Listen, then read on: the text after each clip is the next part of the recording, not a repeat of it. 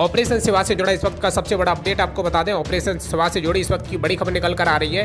Borewell में गिरे चार साल के मासूम को बचाने के लिए भारतीय सेना के साथ साथ एनडीआरएफ की टीम ने भी मोर्चा संभाल लिया। भारतीय सेना द्वारा कंट्रोल रूम बनाकर बच्चे की हर गतिविधि पर नज़र रखी जा रही है।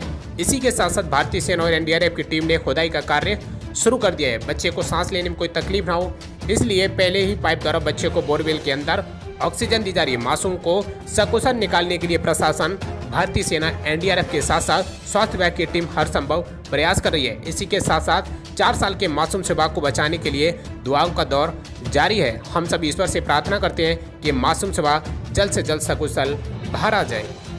मौजूद हम दर्राई गाँव में, जहाँ सिवा की जान बचाने पहुँची एनडीआरएफ की टीम, जो कि इंडियन आर्मी अपना मोर्चा संभाले हुए है। आपको बता दें काफ़ी समय से खुदाई का चल रहा है। कैमरामैन से कहेंगे, खुदाई का दिखाने का प्रयास करें। वहीं आकर के एनडीआरएफ टीम ने अपना मोर्चा भी संभाल लिया है। अजीत कुमार के साथ Avdhesh Kumar T gram twenty